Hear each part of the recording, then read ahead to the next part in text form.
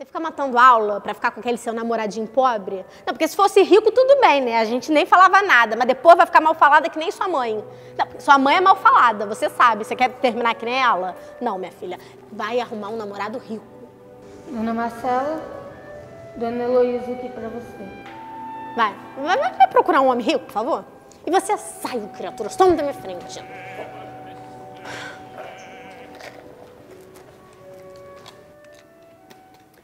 Eu tô surpresa, Heloísa. Porque eu vim te ver? A gente não se dava tão bem. Eu sempre quis ser você. Você era o exemplo que eu tinha de mulher forte. E você também, a irmã que eu sempre quis ter. Não, porque a Catarina e nada, né? Pelo menos o nada faz menos barulho. Eu não queria perder você. Mas já perdeu, vagabunda? Tão fácil me fazer de boba. Preciso ver todos os documentos da família.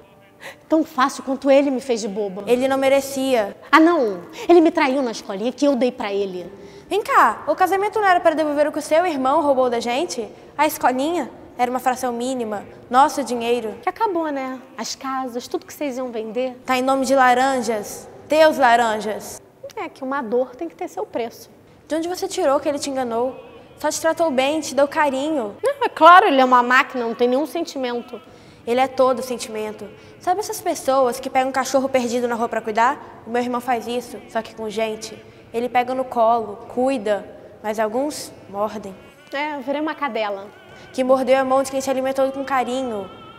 Você sempre soube que ele amava pá. Ele nunca te iludiu sobre como isso ia acabar. Você pirou, não ele. É.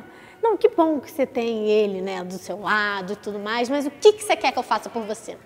Preciso de um dos seus dossiês. Aí você vem me pedir me dando um tapa. Não leva. Pretendia ser mais humilde sim, mas vendo quanto você acha certo, destruir o cara que te deu mais atenção na vida, não deu. Ele errou, errou sim. Acreditou na sua inteligência. Vivia dizendo que você era brilhante, mas não é. Você é muito menor do que eu imaginava. Eu falei pra ele que eu aceitava tudo desde que fosse na minha frente. Ele me enganou. Não, ele não te enganou. Você se enganou. E agora? Soltou sua verdadeira natureza. Quer saber? Fique com as casas, já que você precisa tanto delas assim.